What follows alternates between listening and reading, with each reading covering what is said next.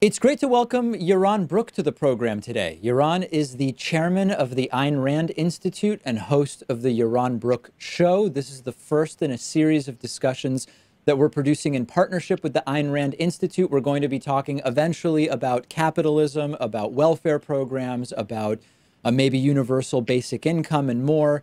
Today, we are going to start by talking about Ayn Rand herself and her ideas. Uh, Yaron, so great to have you on. Oh, happy to be here. Thanks for having me on, uh, David. So, in in my audience, I don't think it will come as a shock uh, to my audience to hear that my sort of worldview overall is not particularly in line with objectivism and Ayn Rand's ideas as I understand them. But it's possible, of course, that I that I misunderstand them to some degree.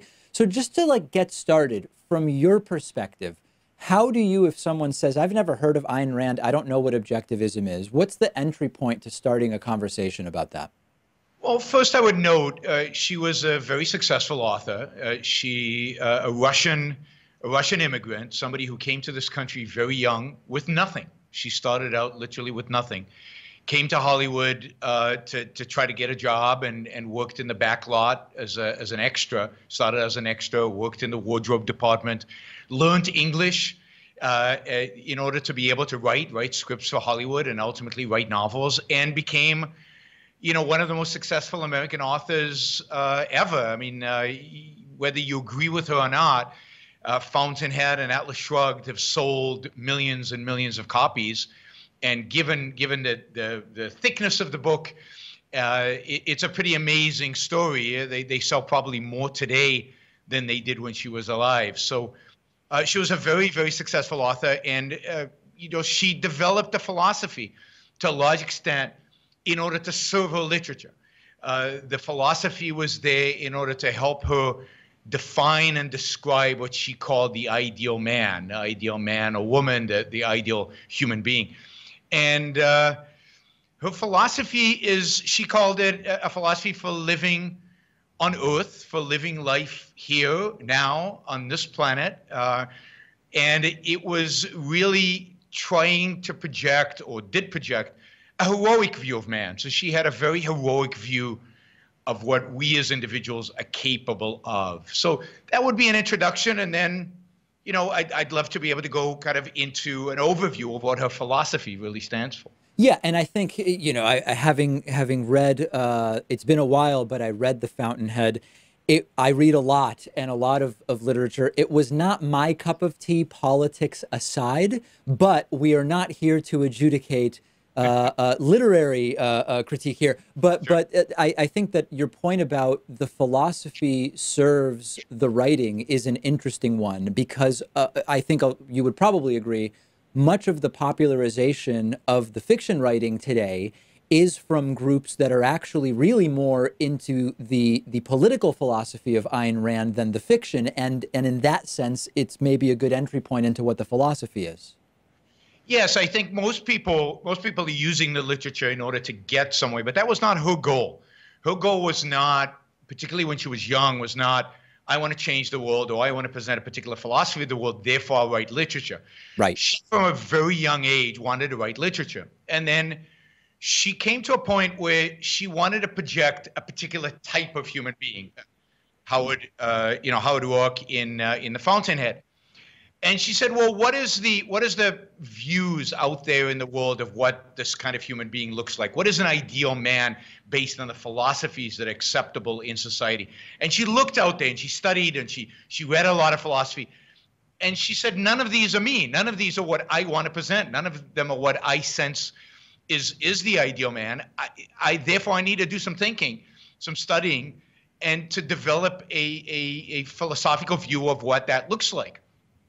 Um, so her, so she develops a philosophy again in service of the literature. So uh, if we start with the metaphysics, uh, Ayn Rand really, Ayn Rand views the world as reality is what it is. It's not what me or you feel like it should be. It's not why so, what some other consciousness, God or some other mystical element, thinks it should be. It is what it is. Uh, to, to quote Aristotle, A is A it's unmutable. And then how do we know reality? Well, here again, we know reality through our reason, through our senses. Our senses are valid. Our senses actually give us information about reality as it is.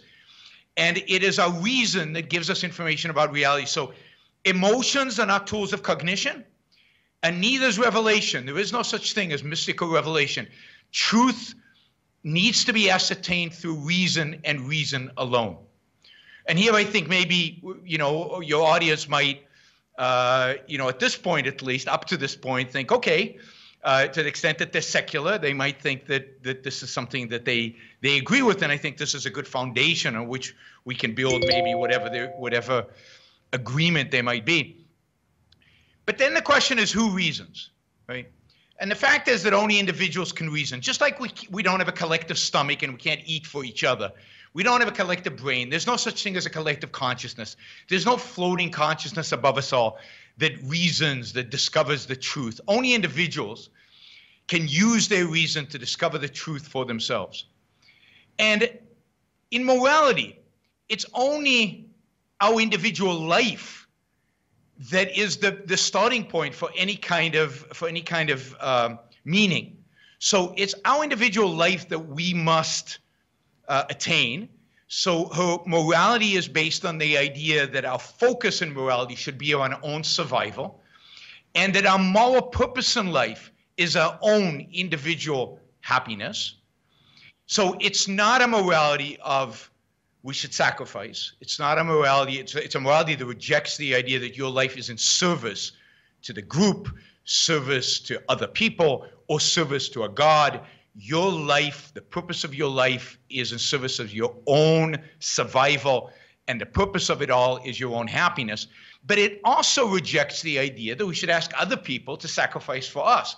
That is, it rejects the idea of exploiting other people, of using other people in order to achieve our happiness. Our happiness is our responsibility, and we must earn it. So let's let's. I mean, that's a lot there. So let's start digging so, into where, if we go a little further, we might start to get to some points of disagreement. So the idea of you know um, uh, um, a reality independent of consciousness, so to speak. Yes. That is not uh, unique to objectivism. So while it will likely sound relatively inoffensive to many in my audience, and even something that they generally would would agree with, uh, it's important, I think, to understand that it is not unique to objectivism. And when we talk about something like uh, reason, as an example, uh, the idea of reason, I think, is very appealing to, to the vast majority of my audience.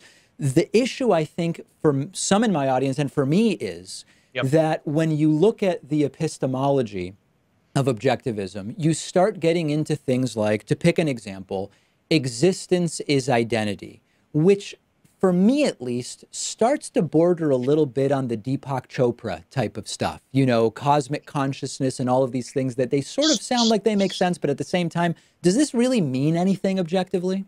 So Ayn Rand actually never says existence is identity. Uh, you're, you're conflating two different things that she says. Okay. She says existence exists. Uh, it, it just exists independent of consciousness. And then she says things are what they are. A is A. You, A cannot be B. It cannot be its contradiction. Things are just all what they are. So, yes, there's a sense in which this is not original. There's, there's very much a sense where this is uh, Aristotle. Uh, and, and uh, she, she, she thinks of basically three fundamental co-axiomatic ideas at the core of metaphysics. And that is the ex- existence exists, the law of identity, the Aristotelian law of identity of A is A, and the law of causality things act based on their own nature.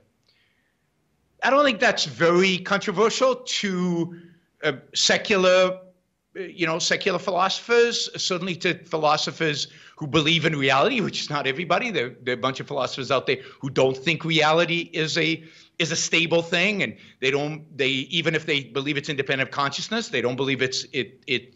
They, they believe in contradictions. Hegel would be an example that that things are you know, there are contradictions in reality in and of itself.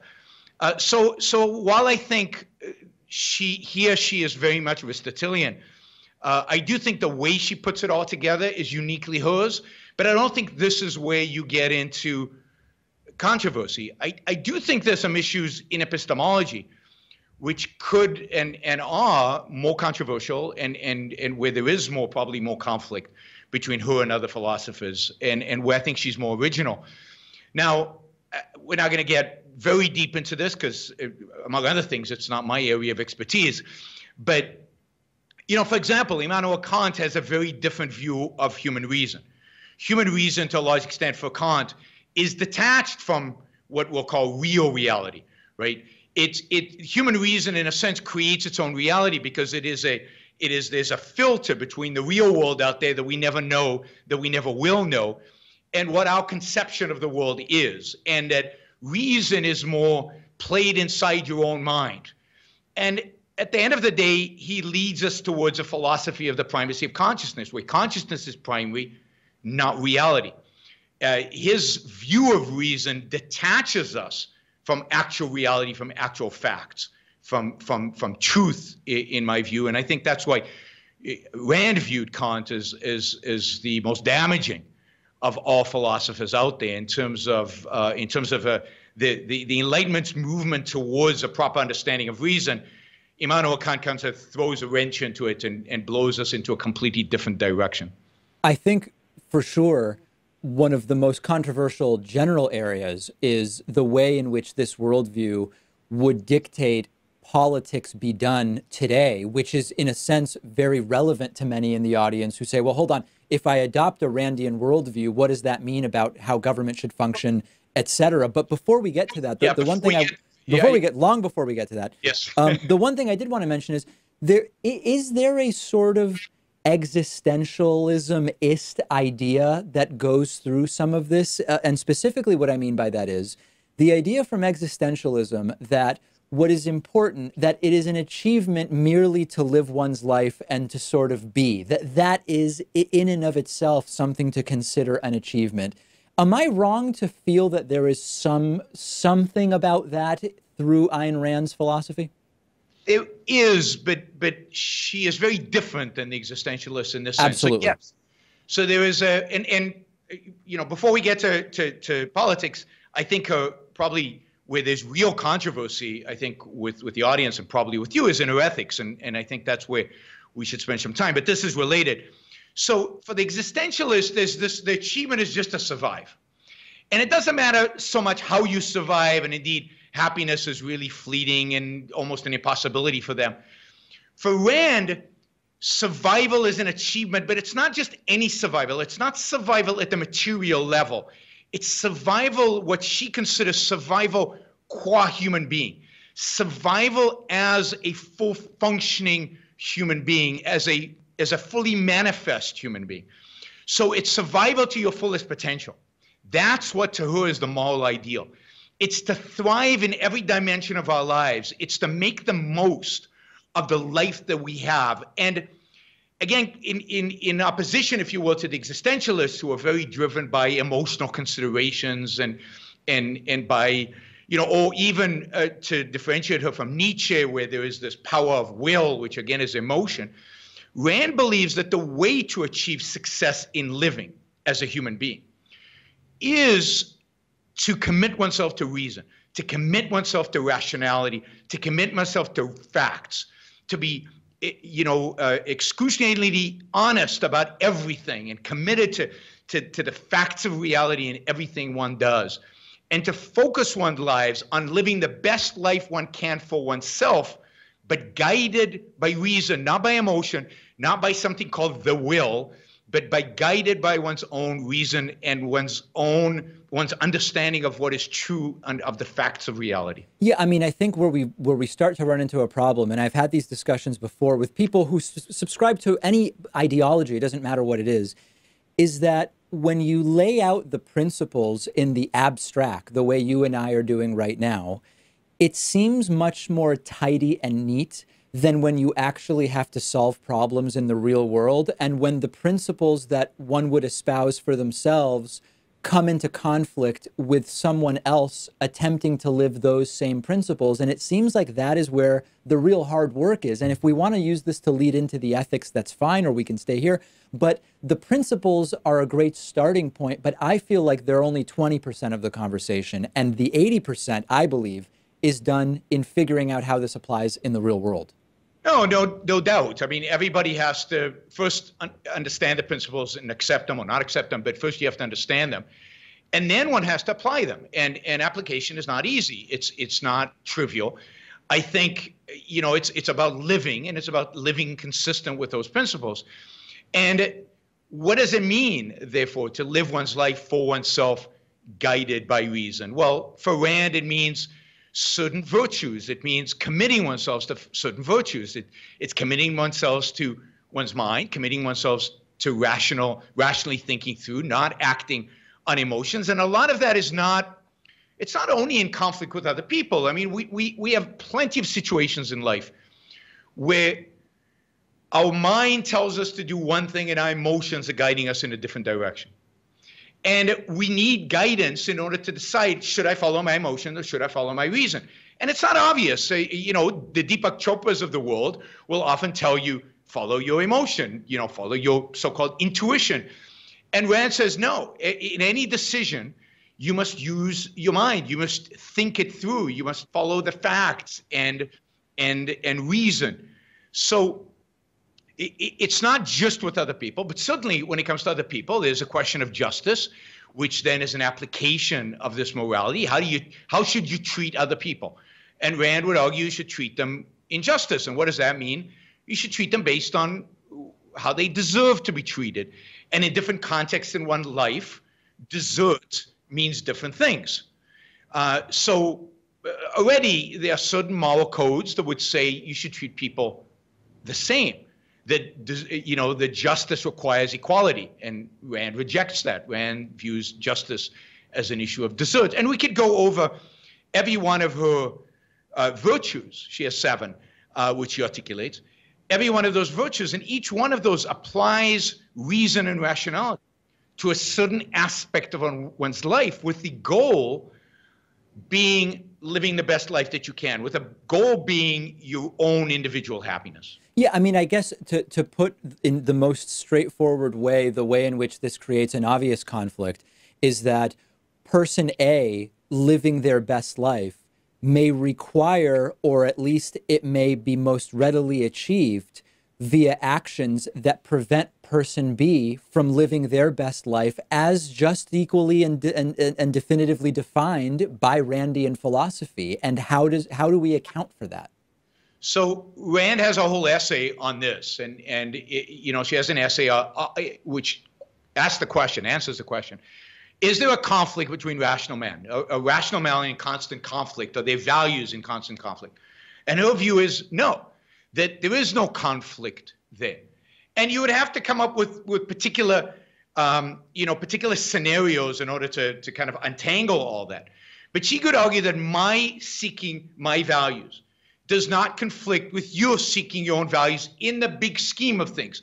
Now in the moment it might appear for that to be that. So for example only one of us can get the job right? There's a job we're both we're both uh, we're both applying for it. We're both rational, we're both being honest, we're both uh, qualified, but only one of us is going to get the job. And she would argue that a rational person would not want a job if somebody else was more qualified for him, for whatever reason, than he was. He would not want the job uh, if he was getting some special favor or if he was being viewed as, yeah, you're less qualified, but we'll take you. That is, it's not a value to that person to get a job under those circumstances. And therefore, it is consistent with his own values sometimes not to get a job. So it might be hard.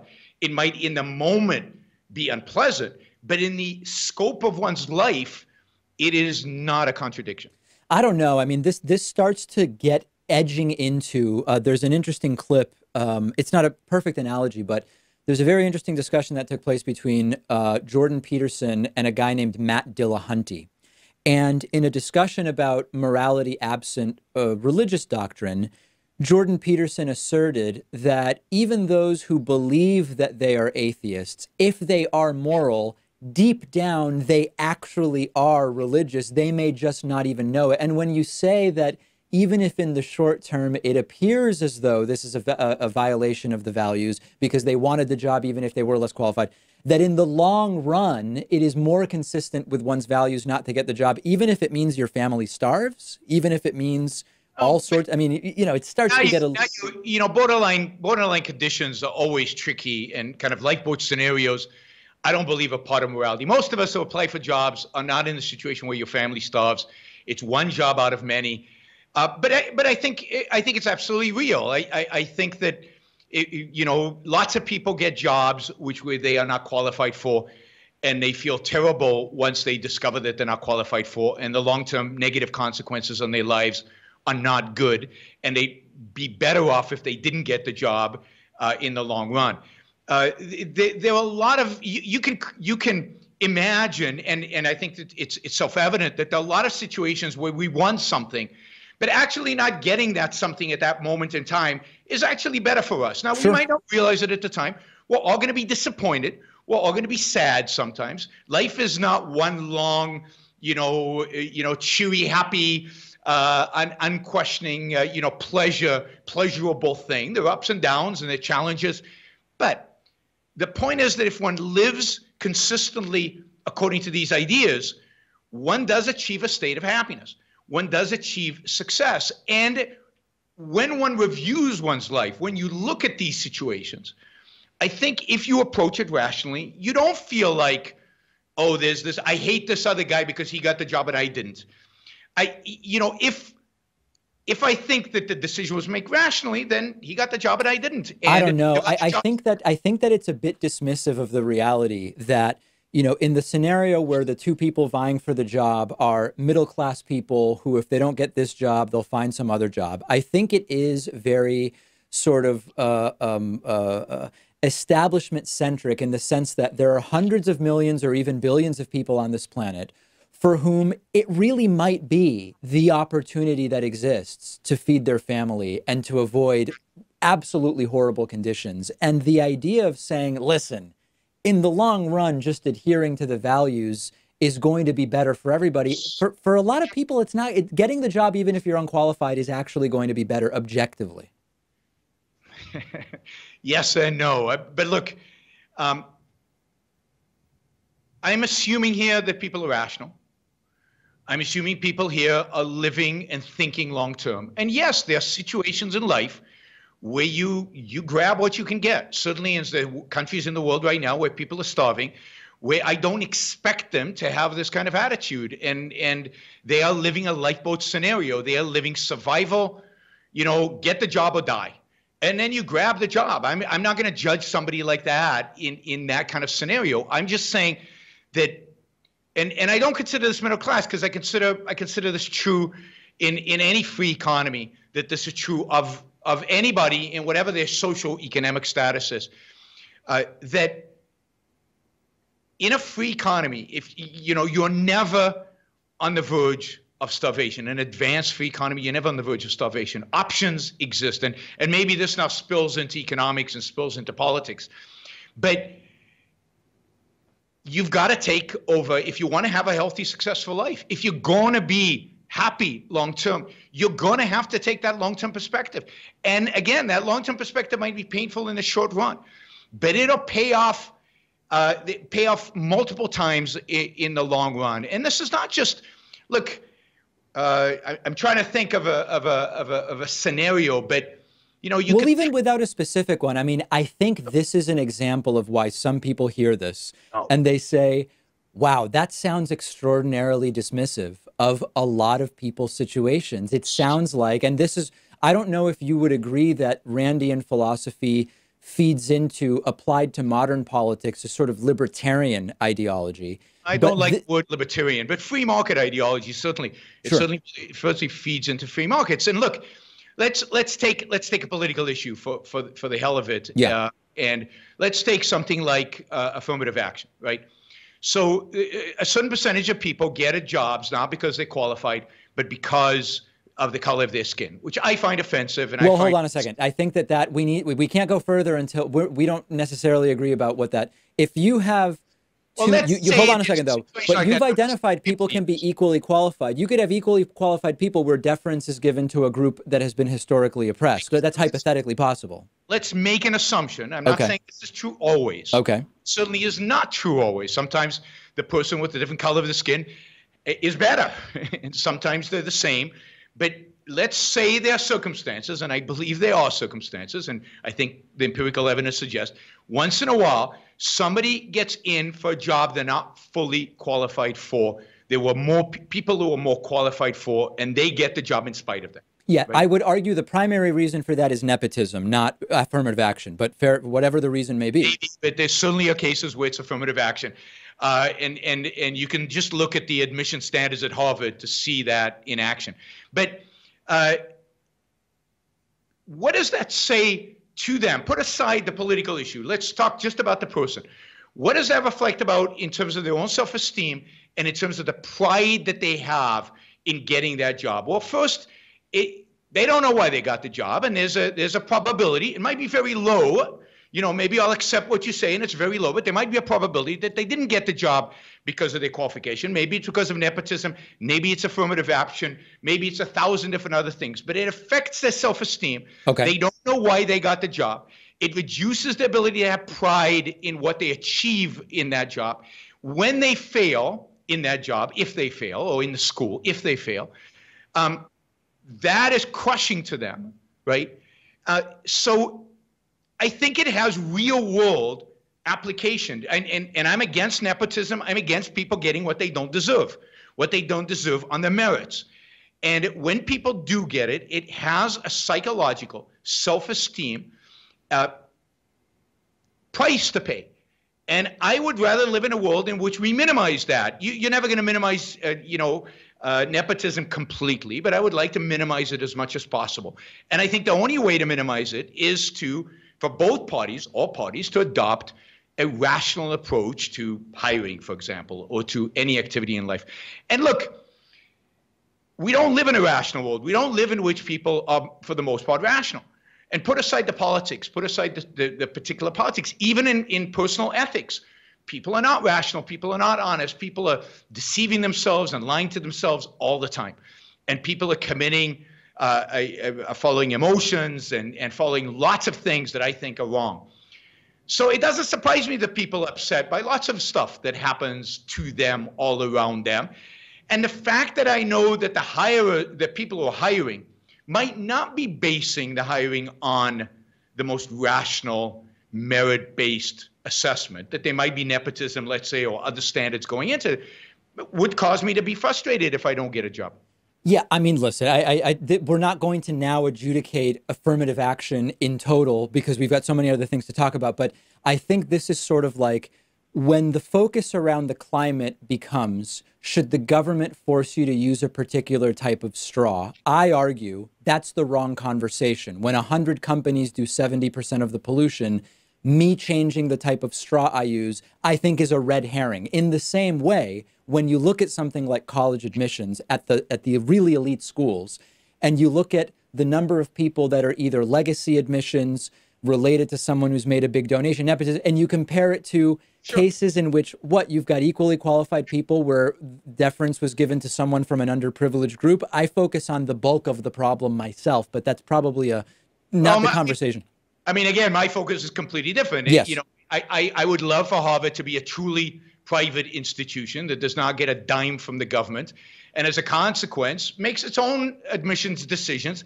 And if it wants to discriminate in any way it has the right to discriminate. So what i want is for the government what i ideally want with all these issues is for the government to get out of the way and private citizens to, to engage in it.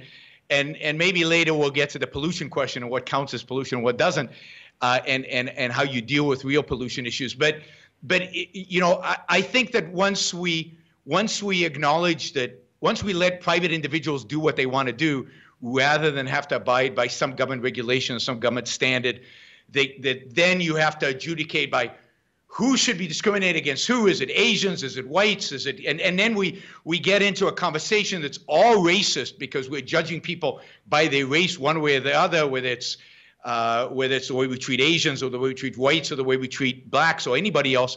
Uh, I think that's a losing proposition to begin with. We, you know, we, they, and and and this is this is a, a really bad place to be, and it's a bad place the country is in. But going back to personal morality, yeah, the key here is for people to take their lives seriously. And look, there's nothing in this philosophy that is middle class or elitist in any way. I truly believe that these are the set of ideas, these are the set of virtues that apply to anybody, anybody starting out in any position in life. If they want to have a good life, and a good life is not measured in money, you know, so it's not about money. It's not a, it's not just about money. Money's a factor, but it's not just about money. That's another I mean, people always think of Ayn Rand in materialistic terms, but it's not just about money. It's about the kind of life you live. And to live a good life, a life of pride and self esteem, a life that you can be proud of having lived, requires, you know, following certain principles. And it's not always easy to follow those principles. The decisions don't always uh, going to make you uh, happy. I, I, give you, I'll give you an example. Uh, from The Fountainhead, which which you said you have read. I, I don't know if you remember the scene or not, but there's a scene in The Fountainhead. Howard Roark is the struggling architect. And there's a scene in The Fountainhead where this bank is going to hire him to build a building, and they're going to pay him a lot of money. But they just want to make few changes to his design. And a few changes to his design completely destroy the integrity of the building, the integrity of the design. And he says no. And he walks away and he lands up working in a quarry in order to feed himself because yeah sometimes your decisions are very tough now is he better off for making that decision long term not taking the money and going to work in the quarry. Ayn Rand's point is yes your personal integrity living by those ideas and sticking to that integrity and living a complete life without compromise. Sometimes it's going to require you to go work in a quarry. Sometimes it's going to require you to somehow lose a lot of money and struggle. But if you follow through on it, you will be successful in living, whether it comes in dollar signs or not. You will be successful in life. And that is why they call it a fictional novel. but but, but no, true. But, but, but, but you, you you see people who do that. It I happens, mean, but the opposite happens as well as the reality. I mean, there there are many cases. The opposite. The, the opposite would be I compromise on the building, I compromise on my value, and I still no, live a happy life. The opposite would be so, the opposite would be in the short term. In the short term, you compromise that compromise allows you in the long term to take the fruits of that compromise and change the system. That is what the problem is. I mean, listen, this is like, I'll give you an example, and then maybe this will be a good, we're getting into the politics, so it may be a good place to pause. I often have to make decisions about, listen, um, air travel, would you grant that air travel does pollute the planet? We can disagree about what the solution would be or, or how much, but planes flying around, this this releases emissions into the atmosphere. Would you would you grant that, Yaron? I grant that it releases emissions into the atmosphere. Very good. One could argue I should stop all air travel to places where I am going to speak about what I do. Uh, but I could also say, listen, the cost that I am exhibiting by releasing this is smaller than the number of people I might inspire who in the next 50 years will go and make positive changes. That that is how I might compromise my value in the short term, but in the long term I actually am doing a better thing. Well, I mean, uh, you know, if you really accept what you believe, and and if let's let's say we'll accept a, a, an extreme version of that, where the world is literally, you know, it's it's in the next 12 years. If we don't stop flying in the next 12, the world the world is going to end. Then I'm not sure that's a good compromise. Uh, I don't buy into that. I'm not sure you do, but um, but yes, one has to one has to have a hierarchy of values and figure out how to ascertain how to gain uh, our, our, most important values. Um, and sometimes one has to give up a, a, lower value in order to attain a higher value.